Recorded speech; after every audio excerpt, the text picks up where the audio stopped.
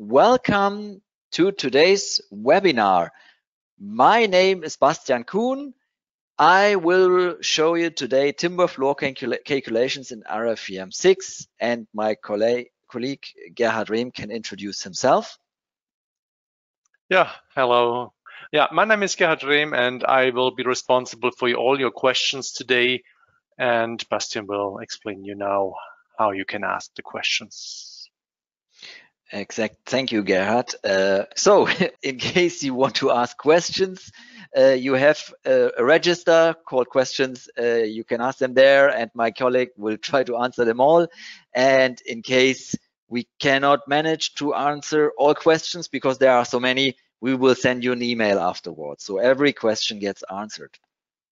I would like to introduce you to the exhibition at Digital Bau in two weeks at the, wait, we can also put the camera on. Yeah, now it's completely uh, out uh, at uh, in Cologne. Cologne is always a good place to be, especially today, as today the carnival starts in Cologne, but also in two weeks.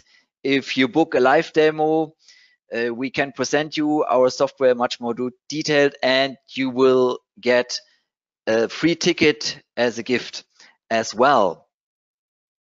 All right. The content we want to show you today is modeling of a 2D system or not really modeling.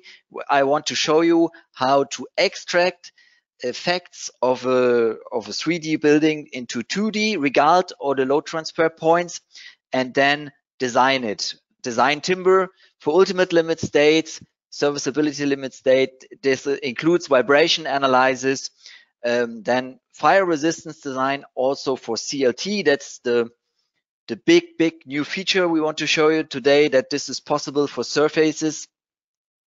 And we want to bring that all into a printout report. All right. Okay. So then I will shut off the camera and jump into the program. Before we jump into the program, um, the project that I want to show you is also on our homepage under customer project. It was, was built last year. The static analysis has been done by the engineering software, uh, by the engineering company Pirmin Jung. Uh, they're using our software, yeah, that's the key. And this is the building, 13 stories. The point we want to take a look on today is that there is, a, or what makes also the building quite interesting is that there's a smaller part that is uh, upon the, the bigger part. And we want to take a look on this story three here. So um, how can you do this? Now you can, first of all, make it with uh, model it 3D and regard all construction analysis, uh, stages analysis, all this stuff in the 3D model, or you can model it 2D and then you have to connect each story via the option load transfer. And this is the option that I'm choosing here today. Today, I'm only looking for vertical deformation forces. I'm not looking for horizontal forces for the stiffening of the system. I want to do this in a separate webinar later this year. Today, only vertical, yeah, deflection and vibration. So wind load and earthquake, we will not consider here today.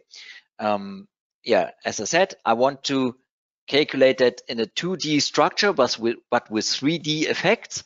Therefore, uh, just to give you an imagination of the structure, I just copied the top stories 4 to 13 in a separate position that I make a simplified load case there for the self weight 4 kilonewton per square meter and the live load 2.25 kilonewton per square meter in each story.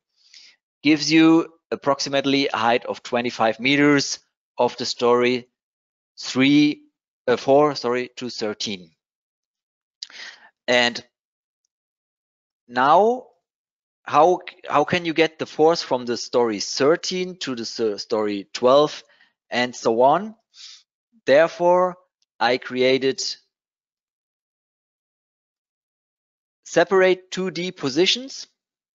Here is yeah the story 4 and i summarize them all i want to show you that in the in the Windows navigator. So I have here story 4, story 5, story 6, 7, 8, 9, 10, up to 13.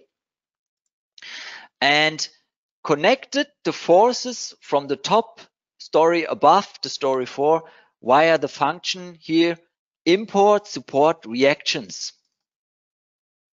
Because there I can say, okay, I'm connecting the story 5 here so the, the resulting forces from the story five into this position, story four. And then I can say, okay, in the story, in the model with story five, I have support nodes, support lines, and then I'm importing them to the current model right here.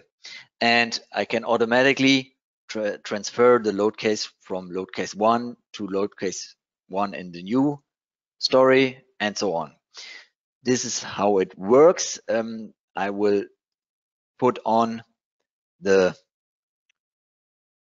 forces or the load. And here you can see that I have point loads and line loads. And if I activate it, also I have also surface loads. And this is, yeah, the, I told that already, the 4 kilonewton per square meter for the self weight and the 2.25 for the live load but we just want to concentrate for the load that's coming from the other stories. Uh, you see here that in this part, I also defined nonlinear nodal support behavior. It would also be possible to regard the settling or the construction stage via a spring constant in here. All these points would be possible to be regarded and still transfer the load from one story to the other. Okay, now when we go into the the position that we want to analyze today there today here i think it gets much clearer because i i know it can be quite confusing especially if you have not seen it before and did not work so often with our or did not work with RFEM 6 uh, before um, you see here i'm in the load case one self-weight. Also here, I have, when I activated the force in the first load case four kilonewton per square meter and 2.25 in the second load case. These are the only two load cases I want to analyze today. I said it is a simplification today. Okay, I think the easiest way to regard that or to understand what I'm doing here is to take a look at the point load. So we have 1.68 here and 2811 there. Now when we look to the previous model from the story 4 and take a look at the reaction in the load case 1, you see that I have 1.68 here and if we turn it a little bit round, 28.11 here. So that really is the load transferred from this model into the other. And maybe we take also a look to the line load here. So 591 here, and then I think it should be enough. And uh, right here, whoops, you see also 591. So yeah, that fits. The load is correctly transferred from, uh, I would like to say, story 13 to this part that we are analyzing here. Okay, to the structure itself. Now that we have such a whole bunch of questions already, um, it's hard for me to follow them all. Um, all right, there, but they there they are. Um, I would like to show you also the dimension of this structure that we are analyzing today. Therefore, I just shortly switch them on. It has a length of nearly 30 meter and a width of 12 meter. Um, I have several CLT plates in here. They are divided in an order that they also can be produced and brought to the assembly. That's that's essential that this is possible. And they are connected in between those connecting points via screws and the screws in our software are modeled via line hinges. There's another webinar where I get into this much more detailed and also use a little bit of a script function in order to calculate them. But today I just took the force from the existing project or, or, not the force, the spring constant over from the existing project. So in X and Y direction, I defined this spring in here. So that's why it's connected. The CLT plates themselves, they I generated with our add-on multi-layer surface. Maybe I go a little bit into the basics data here. So it will be this add-on multi-layer surface and I'm designing all this stuff in the add-on timber design. And when I defined this layer, I have a database here with all the producers that we are offering right now. So you see, it's even possible to have a producer from Switzerland, uh, maybe not this one, Schilliger, for example. And, but of course, uh, all the European producers. And if you want to design in America or North America, Canada, then uh, you can also have producers from there.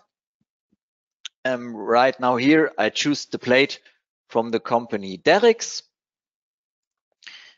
And this gives me a certain amount of stiffness. I have other options here to regard the failure of net sections and failure in include contact surface. This is once again more for the webinar of of the stiffening system of for horizontal load and I don't want to regard that today but what I want to show you is that these layers here will generate a stiffness that we export into RFEM. So you see that this stiffness, uh, if we're just looking for the top bending elements in here, you see that D11 is way more stiffer than D22. So the, the stiffness in X direction is higher than in Y. That's timber, right? obviously. There's nothing uh, so fancy and new.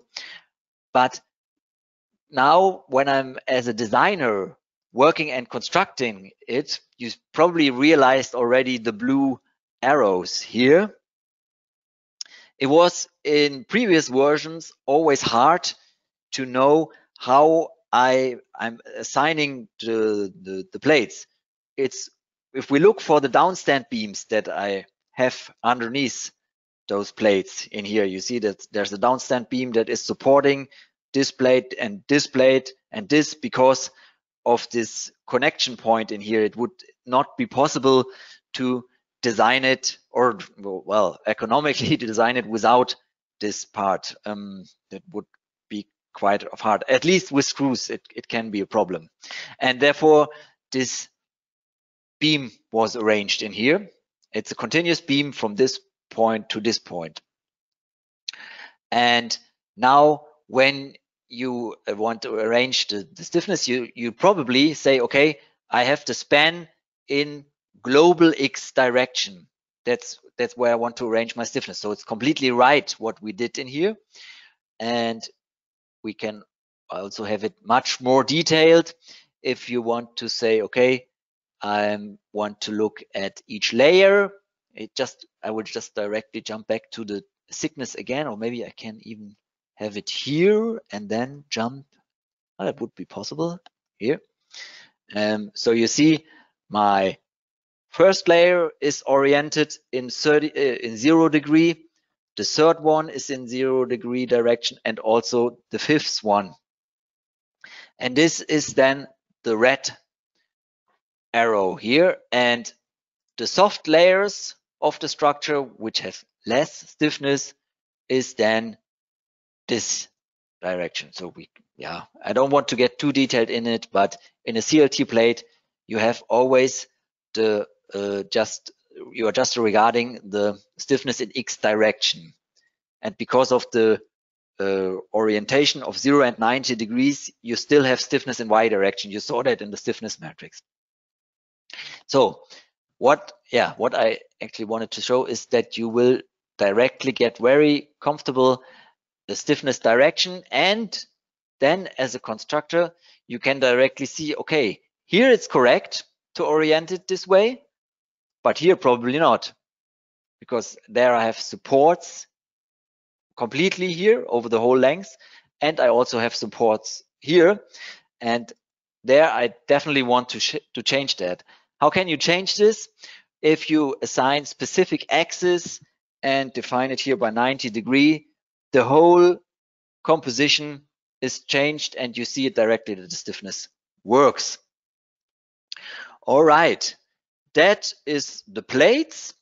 Um, I also defined supports, well, just uh, simplified also only vertical and not movable in X and Y direction because I think this is as we are only looking for vertical forces and deformation, this is okay. I will generate the mesh just to show you another part what I made in this model I certainly did take the whole load, the for once again the example of the point load of load of 1.68 and defined it with a tiny little eccentricity to the support. In reality, when you are constructing this, you probably do not assign it to this node. What's the number? 439, you would probably assign it to the node for no 215. Uh, but I did it this way, and this will definitely give you a singularity, which will never occur in the in the real life. And either you can put the force directly to this node, or if the distance gets bigger, there's also the option to define a surface result adjustment. This is what I did in here. All right. Um, yeah, and I use this surface result adjustment wherever I have these problems. But I want to show you with this the advantages of this 2D system in here. Uh, and when I have it in a 3D, it would it could be yeah quite a lot of more more work to to regard it. And also when you say okay a downstand beam here maybe I, I don't want one this would also be easier in this position in here. Okay we switch off the load again and come to the beams forces we did. Yeah I said it already. The beam is supporting the plates because they have connection points in here. Otherwise, it would not be possible to assemble them or to produce them and to assemble them. Both would not be possible. And of course, the engineer divided the beam in these connection points. It is not possible, uh, necessary with, with RFEM 6 to divide it, but he did it. And now, how do you regard that as a continuous beam? You will use the option set of a member set, sorry. Okay, when we are already in member set, we can directly take a look at the design types of this beam. We don't want to look for stability today as we do not ha have any kind of buckling. And we could also argument that for lateral torsional buckling, it does not play a role in here because we have constructive fixing on the top of it, so this will not occur. That brings us directly to the design configuration. Well, the ultimate limit state configuration is then also not so much to do. You can, yeah, consider the system strength factor. That would be something probably quite relevant in case we uh, getting right to the borders of the loading with the members. Um, as I said, stability we do not do. Uh, and we have also the system strength factor for the surfaces. So it's always divided ultimate limit state, serviceability limit state into the definition of member and surfaces. It's more or less the same what you input in here. Fire resistance verification uh, configuration that is the new point what I want to show you for surfaces. Therefore, I will not show that in the members right now. For the member, I want a required time of fire resistance of 60 minutes. And because it's covered on top by the plate, I skip that and say it's only burning left, right, and bottom. And 60 minutes. That's what I'm defining. Then what else can we define for the beams? We can define a member support at the member start and end in this case. Here I said, okay, I have a support length of 30 centimeters, which is quite long. Um, possibly you want to reduce that later on.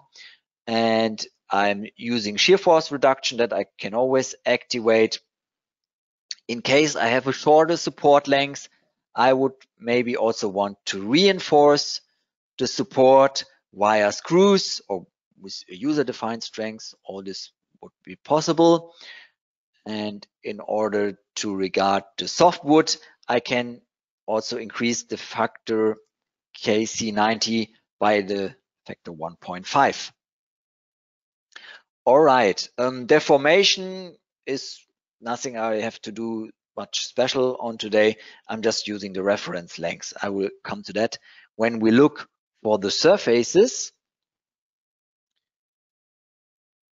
and we will yeah, take this one here, this surface, and take a look for the design configurations again.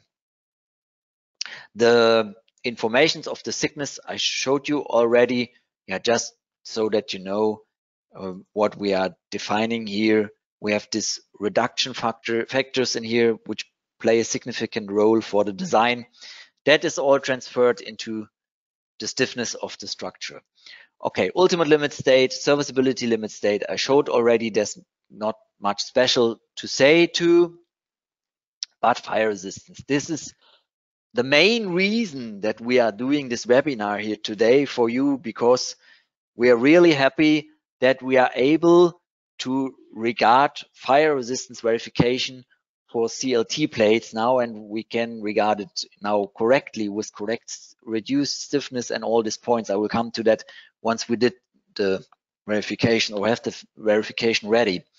So I'm saying I want a required time of fire resistance with 90 minutes, which is quite long, and the default setting here is a non-heat glue, not the glue, but the glue or adhesion of cross-laminated timber, uh, which means this is the standard glue taken by the producers. So be aware to, to take this one. And uh, the burning rate that we have in here, we can also control that in the standard parameters. And it's probably quite interesting to take a look into that. Uh, the, the burning or the charring rate is for cross-laminated timber similar as for softwood 0.65 millimeter per minute. So you say 0.65 millimeter per the first 25 millimeter thickness. Then when one part of the structure is burned or of the layer is burned, um, it and it comes into the area where where the glue, the adhesion works, where the in the connection of the two boards, you have to nearly not nearly you have to double the rate or maybe there are maybe other rules where you even have to increase it. So you say not 0.65 but you say in this area where the glue is you say 1.3 millimeter per, per minute. So that's quite a lot. And yeah, that's how it is regarded. In case one layer of the plate is burned nearly completely, maybe we take a look to the to the layers again. So if you say, okay, the bottom layer here, uh, where, where I am with four centimeter thickness is burned completely, then of course it cannot, cannot bear any force or any stress anymore. And then there's also the rule to say, okay, when it's burned equal or less than three millimeters, it has to be completely skipped out of the design for the stiffness and the stress. So that's quite important. Okay, and we want non-heat adhesion. Um, the fire exposure, well, that's now quite similar to what we had for the members. On the top, I probably have some kind of planking or whatever. Uh, on the bottom, that is where I want to do or have the fire resistance verification. In case the bottom is also planked by, for example, gypsum or something else, you can calculate an insulation coefficient according the, yeah, once again, for example, the planking thickness, and then it's uh, the factor K2 should be less than one. Okay, but here today we say, okay, I'm working with this and we will try this one. Okay, this is the very important fire resistance and we will do the combination, do the design and then come definitely back to this configura configuration and take a look on it again. Deflection was uh, predefined with the maximum boundary length, which is all right in here. It's from this to this point, 4.8 meters. Of course, and in the most of the cases you would want to have it, you can, oops, you can uh, also select a length. But you see here, this line is 4.8 meters, so you can really take it this way. Okay, and the service class is similar as for the downstand beams, one in this case. All right, this is the point and we will get to the combination. I hope I did not miss important stuff, but I don't think so. Okay, we're doing a combination according to Eurocode 5 with the German annex. Of course, a whole bunch of other annexes are possible and a whole bunch of standards for any other country is possible here. Okay, once again, we have only load case one and two for sake of simplification. Design situation is predefined with permanent for ultimate limit state. And in Germany, we have three combinations for serviceability limit state characteristic, which is the, which is the initial deformation of the structure and quasi-permanent and characteristic quasi-permanent with regardance of the creeping. So these two serviceability limit state verifications will also regard creeping. The creeping you can define in the basics with settings for timber structure. In case your structure gets nonlinear, you have to regard the creeping factors in stiffness modification, but we do not have this case here. And of course, we also want to do fire resistance verification. Therefore, once again, in Germany, it is recommended to use the accidental combination for fire with C11, which means that your factor C11 is put in front of the sum summation. Um, but of course, it's also possible to use the other summation where you have it in the summation of it. Okay, so this is the one we are using here, and then we can do our combination. Yeah, quite nice, quite short, not much to combine when you have only two load cases. And then the only thing left to do is go into the timber design and say what you want to verify in here. So we want once again, verify ultimate limit state and serviceability limit state. And here is uh, directly, correctly assigned the accidental fire. vibration we will do later on. I let the software now calculate because this gives me the opportunity to show you the printout report a little bit more detail. But maybe you already asked yourself, okay, it's nice that I can connect several models uh, within one model and have the forces from all of them. But how can I do the documentation of this? I need, I mean, I cannot say to the other engineers, uh, I have uh, magically uh, just have the forces somewhere here. You need, probably need the documentation for this. And that is what I want to show you during the, the calculation. And here I'm opening again the model with the story four. And here you have an option. Oh, wait, we have to get a little bit better. And this, so for example, what you definitely want to have in your documentation is the reaction force from the story and probably a whole bunch of other parts, but I don't have the aim to make you complete printout report. I just want to show you how to connect several parts of the other model into this one model.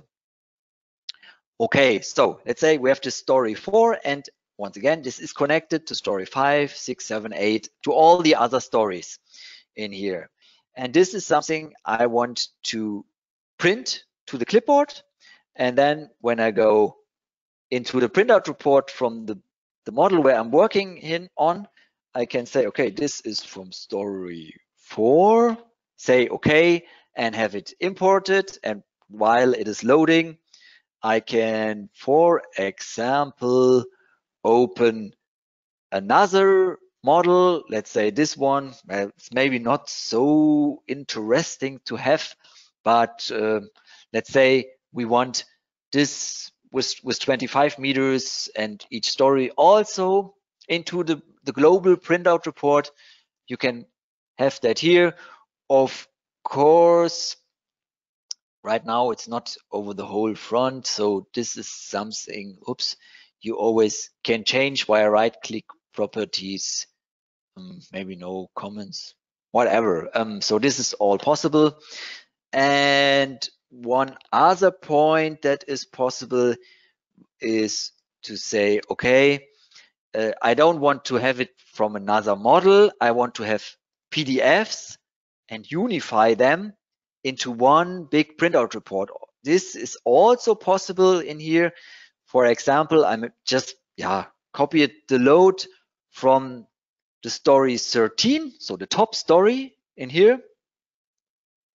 And when I go once again, insert PDF and select this one here, go opening and yeah, for example, I say all pages, there is a whole bunch of options uh, imported and then I also have this PDF inside it.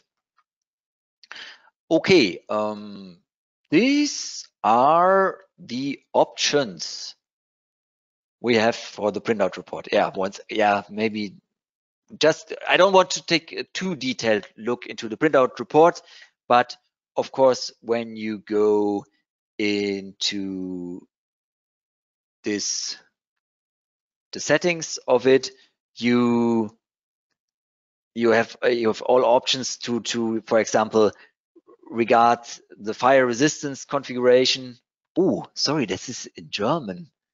Oh, this was my fault. Um, once again, so we probably should change the language into English. Okay, but this is also possible, uh, similar to the software, it's also possible to change the language. Uh, okay. Yeah, that's because, yeah, so here you see, now it's there and we have the language in English.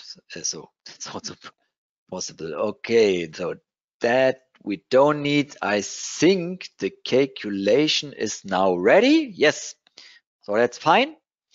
Uh, oh, now this ah ah now ah now it's loading all the points to the printout report.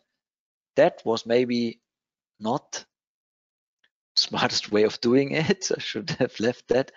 Um, okay, but we can maybe wait a few seconds. Ah, it's now it's ready. Okay, because it's now loading all the stuff from uh, into the printout report that I should have skipped. Okay, so the design of the structure is ready. And the overview at first says, yeah, not really um, a bigger problem. When we look for the design ratios on the member, that looks quite okay in here. We can also take a look on it graphically. Um, maybe we take a look at the biggest loading for ultimate limit state. This is the bending. Oh, we can also take a look at the compression, maybe just to have an example or an imagination. So you see, yeah, 50% loaded. The, the length is definitely too long that I choose in here. And maybe we can also increase this, uh, decrease the size of the section anyway. Um, okay, but here's the pressure support verification done, and you have an equation that you can put also to the printout report. Then uh, have a nice documentation of it.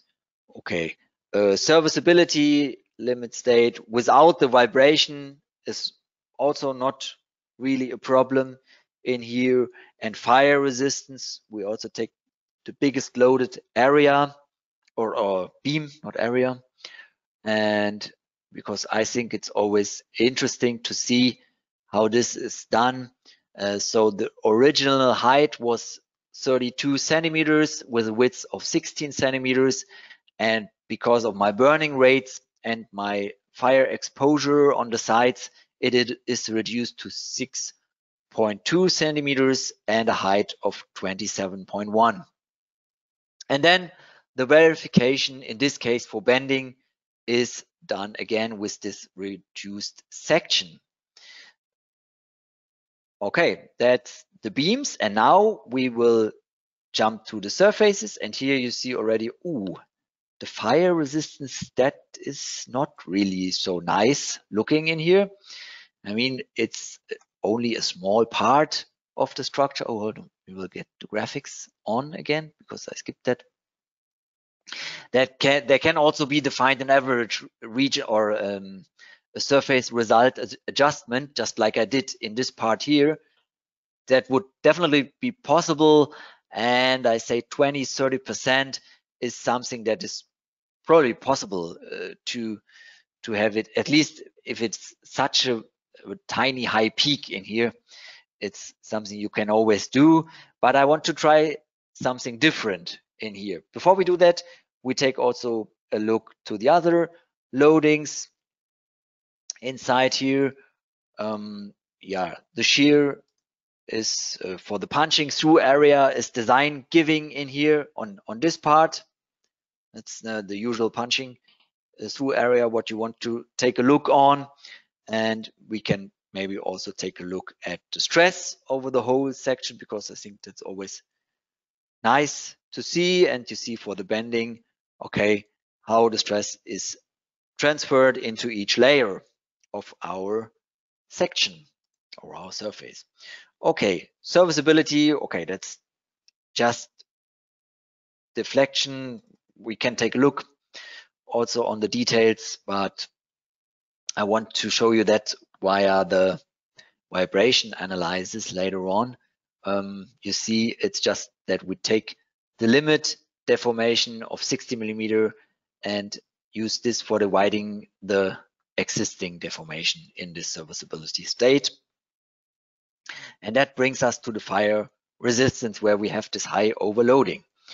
Okay, there it's quite interesting when we look for the result diagram that I showed you for the ultimate limit state before because now you see our intelligence behind it. Um, you see, because of the burning, the fifth and the fourth layer is burned completely. And this is not only for the stress, but also for the stiffness. The stiffness matrix that I showed is reduced for the load combination 9 and 10.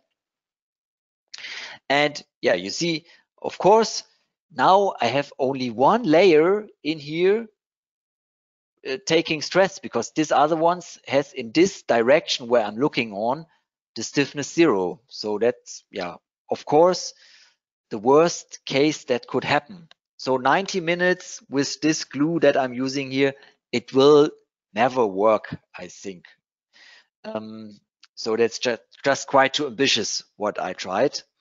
Um, we nevertheless, before we change something, we will use it again in here and take a look at the charring depths inside. So layer five, I told that already, it is, is burned completely, of course, by 90 minutes.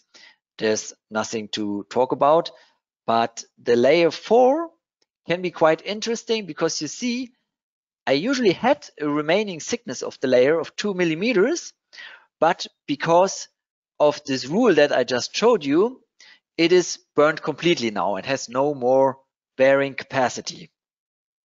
So it's defined to zero.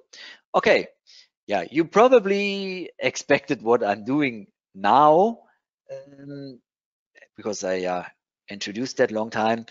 Um, the easiest way to increase this now is to use a heat-proof adhesion of cross-laminated layers because now I don't have to double the burning rates. And you saw it probably that it tells me that it needs to delete the combination 9 and 10. Why is this necessary?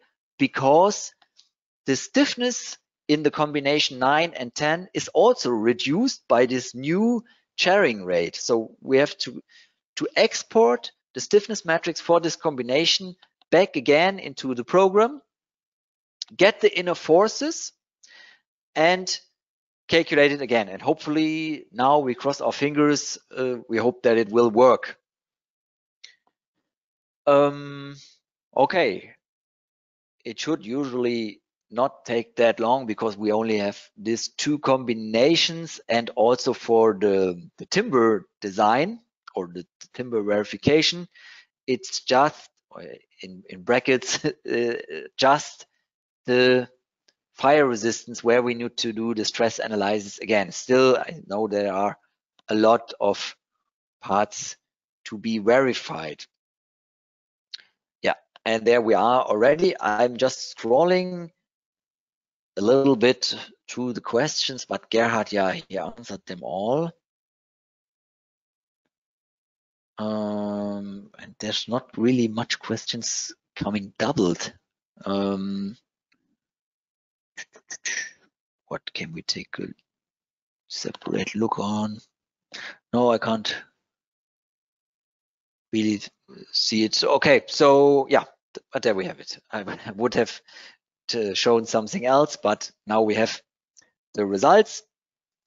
And then we directly jump into the surfaces and look to the fire resistance and yeah, perfect. You see, uh, I yeah like nearly have 100% less loading on the structure because uh, yeah just by this better glue that I'm using in here and now we can also take a look to this graphics again and now you see it already in the graphic. 14.5 millimeters do remain. And yeah when we take a look at the stress yeah of course this bottom layer here just gives me so much load, more load bearing capacity that it's yeah just the smartest for me the smartest way to do it. Um, in the details, you will definitely see the same in here when you go to charring depths and then you see here that this is still working. So yeah, once again, um, this is really, really a big jump. I don't know a software out there that is calculating 2D surface elements, um, assigning a fire resistance verification by also reducing the stiffness. I mean, there's probably some softwares that will reduce the, or have the reduced section, but they will not reduce the stiffness. So, and it's quite uh, so important if you look for the effects that it has in here. So that is what we are yeah, very proud of that we have it in our software now. And I think yeah, it's one of the best things you can have. Okay, um, this and now uh, was only missing the vibration analysis. Yeah, I want to show you the simplified vibration analysis at a first step.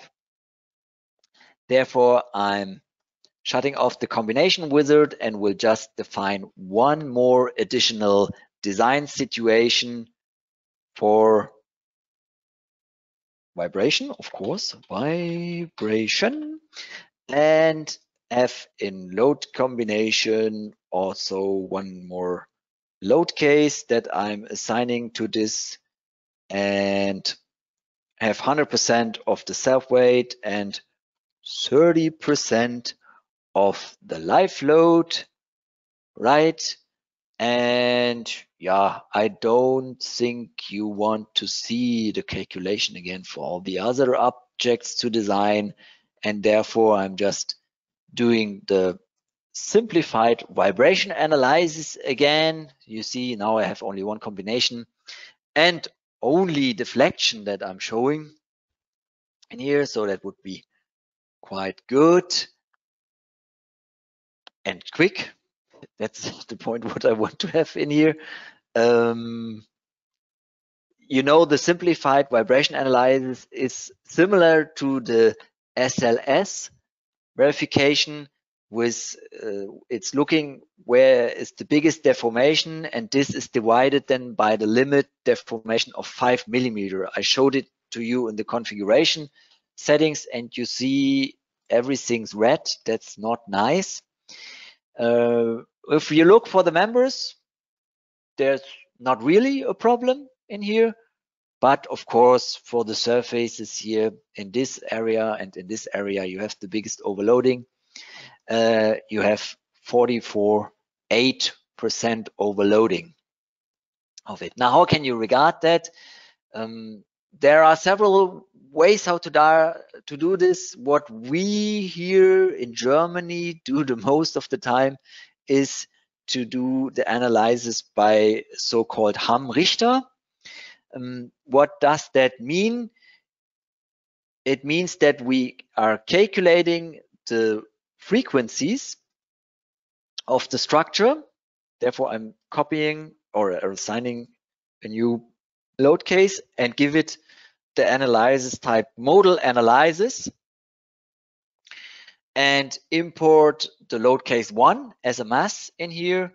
And I need another load case for the stiffness criterias.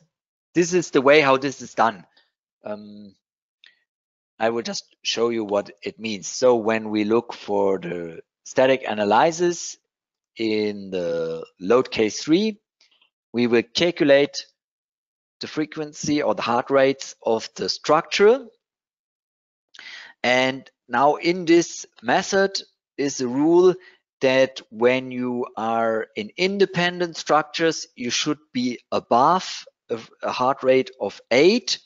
And when you are in dependent areas, so when your own family is uh, introducing the frequency, you should be over six hertz. Okay, so that worked for the second rule, but not for the first one. Okay, so you have two ways to do it. You can either get it stiffer, but it's not really in this problematic part. It's it's more in this part here where you can try to arrange something. But if you argue, okay, I have maybe a dependent area here, it is fulfilled at here. At least it is not 44.8% overloaded. And now the second criteria is that uh, is the stiffness criteria. Therefore, in the maximal deformed part, you have to define a force, a single force of two, two kilonewton, and it should be below the deformation level of one millimeter. And when this is fulfilled, your verification is done. Well, it requires that you have an option to calculate the frequency rate, rate and um, this method is even more or it can be even more sophisticated at what I'm showing in here. And it would also be possible to analyze this with our software. but there you have then to define um, a vibration on the structure and see how the damping in the structure works. So, but as with these rules, we are below the level of one millimeter, you can agree or you can argue that the vibration is fulfilled and that it is okay. Just as an option, because yeah, the simplified approach is really simplified. That's in the nature of such things. Okay, then I see everything's answered. That's always good. And we will come back to the presentation because Gerhard wants to tell you a little bit about new things upcoming. I already announced a little bit an upcoming webinar for stiffening and Gerhard also has something in plan what what he will do in future. Okay, but Gerhard, the stage is yours. Thank you, Bastian, and thank you for the webinar. Yeah, so at the end, I want to talk about new features which we have implemented in the last, yeah, let's say weeks. So last week we have released the fire design for surfaces. So it's not only for CLT, but for all kind of surfaces for um, Eurocode design and for design according to the code from Switzerland, the SIA 265. Yeah, and yeah, we pre- or I will prepare a webinar especially based on the fire design, but I'm I don't have a date yet, so maybe end of March or April or something. Okay, so the next few a feature was no, sorry, oh, sorry back. You are sorry. too fast. Quick, sorry. Yeah, no, because yeah, you said next, yeah. I don't know. The next feature uh, was we have released a few weeks ago um, is the profile sections um, according to our material database, also for the code from Switzerland. And this week we have released uh, the design of, yeah, user-defined cross sections created by RSECTION, our standalone add-on. So now you're also able to design these cross sections for Eurocode and SIA code. Yeah. Okay, Bastian, next slide. Okay. Okay, here we talk about future features. So these are the features what we're working on. Um, so we will release maybe next Monday or the Monday after next Monday, we will release, yeah, semi-rigid links. So at the moment we have the rigid links, but in a few days you will be able to assign also line hinges inside the rigid links, which is also good yeah, for example, for composite beams and so on. So you can connect them or you can connect now uh, different or multiple members. Yeah, we are the rigid links. Um, okay, then the NTC. So for our Italian customer, yeah, we are close to release the NTC code. Um, let's see, maybe a few weeks more than it's finished. Um, that's a national code from yeah from Italy yeah, we want to try to extend the design supports for tapered and notches. But yeah, this uh, feature will take a, a, few weeks more, I guess. So we haven't started, but uh, it's quite asked frequently. Yeah, and the next big step is, uh, yeah, we plan to release a, yeah, a new surface type to model timber frame walls. Yeah, so you can see it here on the bottom right side. Um, we will we will release it step by step. So in the beginning, you can only model or you can only um, yeah consider it for the stiffness. So there is no design done, but uh, and only for simple um, surface shapes. But um, yeah, we will release uh, a feature, another feature, step by step. So, but this will this will take at least a few weeks or at least months, I guess yeah, so this is the forecast for the next year, I would say. And yeah, let's see. But just to inform you, and hopefully it will help you. Okay, Bastian, then I want to say thank you and goodbye from my side. Yeah, all right. Yeah, uh, yeah, I would like to, to close the webinar and once again invite you to the digitalBAU in two weeks or in less than two weeks in Cologne uh, book your live demo there and maybe Gerhard, no, go ahead, not, but uh, me and the other colleagues can show you something. Uh, in case you cannot attend to the exhibition, book your free online appointment, contact our sales team. We have free online services all on our homepage. The models to download I showed you, FAQs and the GeoZone tool is there, for example. We are in the social media. Try license in case you did not do not use the software, just download it there and have a 90 day free trial of it. okay, thank you and have a nice day.